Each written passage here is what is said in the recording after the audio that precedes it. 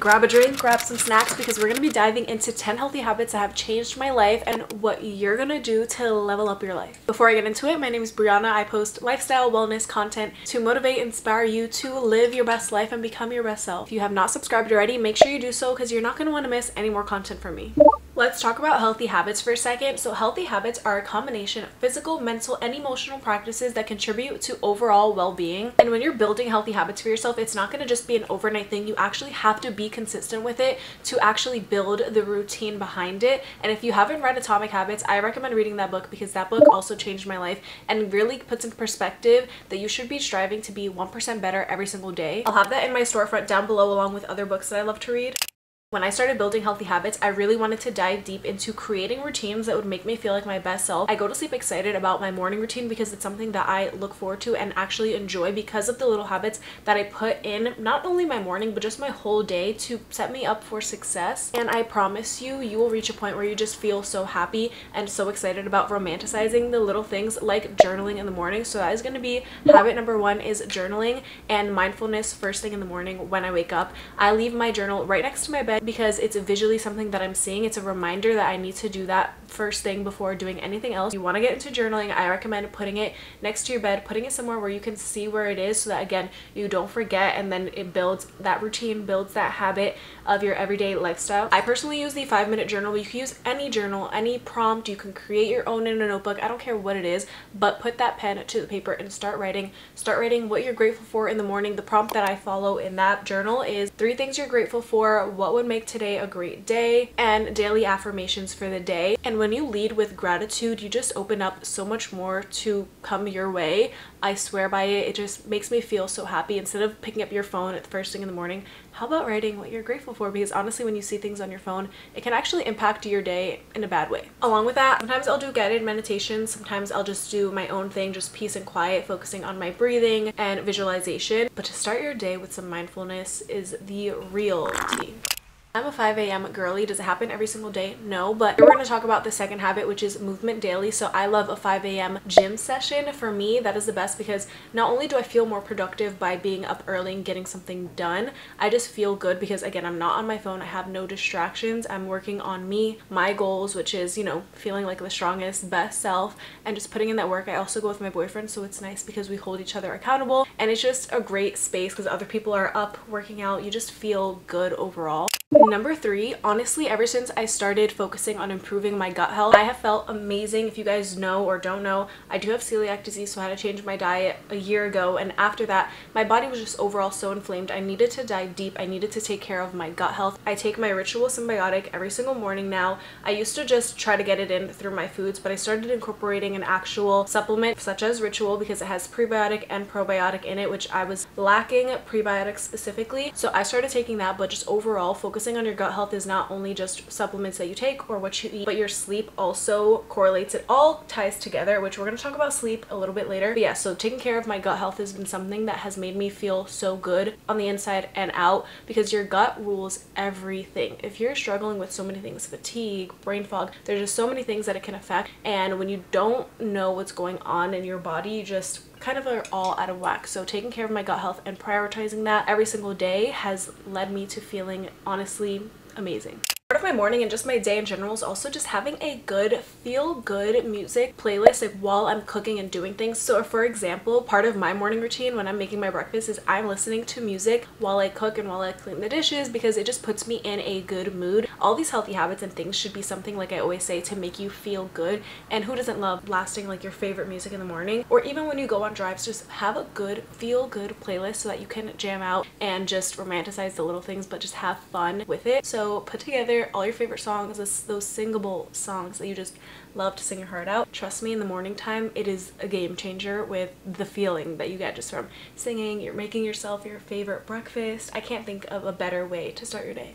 A lot of you should already know this healthy habit, but if you don't, let me tell you. So having coffee, we all love coffee. We love our morning coffee. I know we go to sleep dreaming about waking up and making that cup of coffee, but wait until after you eat because honestly, last year when I was struggling with so many symptoms and stuff, I was also having coffee with my breakfast, sometimes, you know, drinking it a little bit before my breakfast. Even in college, I used to do that. And it's kind of crazy now to think back on I used to be that person, but my cortisol levels were so high last year, like the stress, not good. So instead of waking up and just drinking that before even having water, you need to make sure that you're having caffeine after you've eaten a well-balanced, yummy breakfast. I also like to share some of my breakfast things and stuff in my vlogs. If you guys want to see a full what I eat in a day, comment that down below to let me know. But having your coffee, matcha, whatever it is, after you eat is key to avoid spiking your cortisol levels. So make sure that you're doing that. We can all enjoy our latte, but make sure that your body feels good and you're fueling it first. I know I spoke about getting in movement daily, like going to the gym, but getting in those steps. As somebody who works from home, I'm constantly sitting. I'm not really walking around like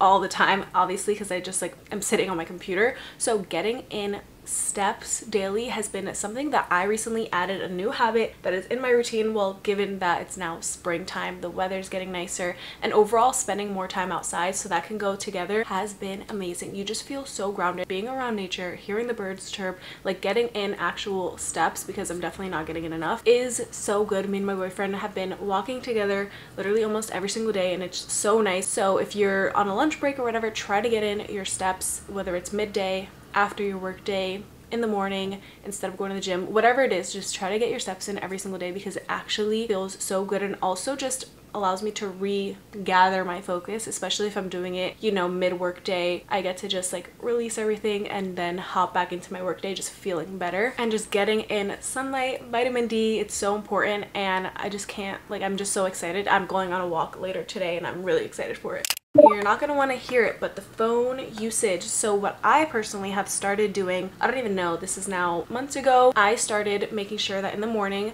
I'm not having my phone usage and at night before bed really limit my phone usage since I work on my phone. I do content creation. If you guys don't know, follow me on Instagram, follow me on TikTok. I'll put it right here. But limiting your phone usage and you could do this a few ways. So what I like to do is lock my phone app. So in the morning, I cannot go on any apps. I think it opens up at like 8 a.m. Sometimes I still don't even go on it at that time. I really try to be strict with myself on it. I'm not going to say that every day is perfect, but it really helps. So you can limit your you can lock your apps to lock at a certain time.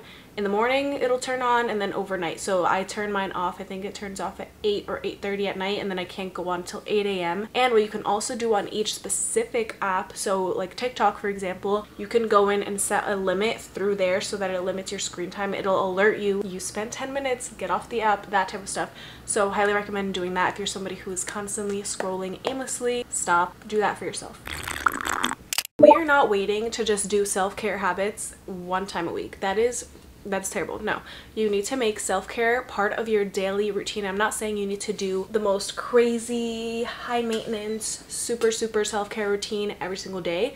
But what I do want you to do is start doing self-care habits every single night, part of your night routine. So it's not like you have to do anything super crazy and that can look different for everyone, whether it's having a cup of tea at night every night, whether that's listening to your favorite music while you have a nice shower, whether it's doing an eye mask, doing a face mask, doing a hair mask for yourself, something little. It doesn't have to be so many things like I said, but something self-care related every single night will have you feeling really good and just it makes the whole routine and it makes every day more enjoyable. So you look forward to something every day because to be honest, every day, not every day is going to be perfect, the same old, same old, but if you do these type of things, it'll make you also look forward to each day.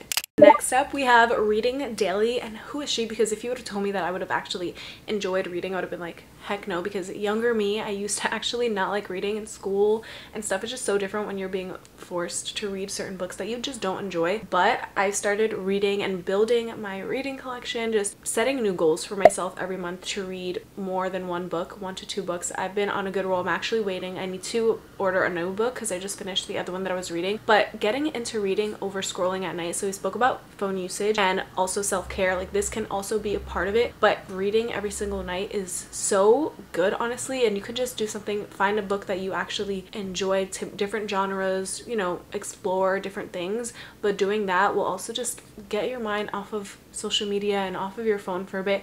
And also for me I like to do it at night because it gets me sleepy. So it's just like the perfect thing because like I don't want to be you know on my phone and my eyes strain like I just want to sit calm read have your tea. You can habit stack. The beauty of habits is habit stacking. You can do two things at once. Have your tea do a face mask and read at once that is the ultimate night routine. And it's just really fun. I've been reading so i was reading Colleen Hoover. I read a different book archer's voice. I just like that type of genre. I'm you know exploring different ones. I just read a thriller book which was called uh, the silent patient. I also have all my books in my amazon the ones that i've read so far. So if you guys want to take a look at that also drop any book recommendations that you might have for me. That would be really greatly appreciated. Getting into reading has been something that was new for me a couple months ago and then here I am reading all the time now which is fun so building my collection for sure I'm kind of running out of space of where to put them because I don't have my own little library Another semi new one, which I know I do my journaling and stuff, which is good for morning, night reflecting, but daily affirmations, but actually saying them out loud daily. That is really powerful because your our minds, like mindset is everything. What you say, what you constantly say and stuff is so powerful. So saying good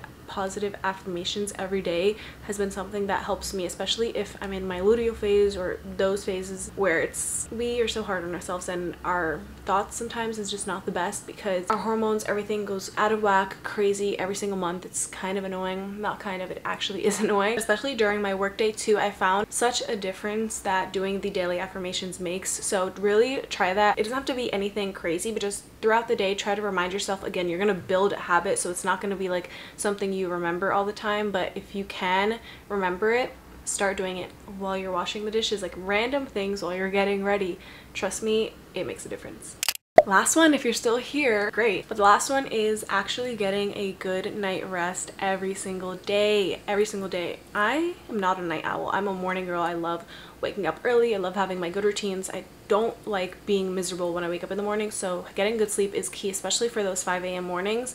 It just makes no sense. Why would I want to just waste my time staying up late, scrolling, or doing something where I could actually get my good rest, have a good morning routine, set myself up for success, and feel my best. And sleep is very important. Honestly, sleep is very important for so many things. It affects your immune system. It affects so many different things, stress levels, all that type of stuff. So make sure you're getting good rest every single day. And for me, I need like seven to eight hours of sleep. I need that sleep, honestly, because it just allows me to perform my best throughout the day, have that good clarity, you know, just really be focused and have like a good productive day without the burnout, without you know, all these other things that can happen. And I love my Hatch alarm clock because I do the unwind setting when I'm going to sleep, which like when I'm making my bed, taking out my workout outfit, it just plays like a relaxing song.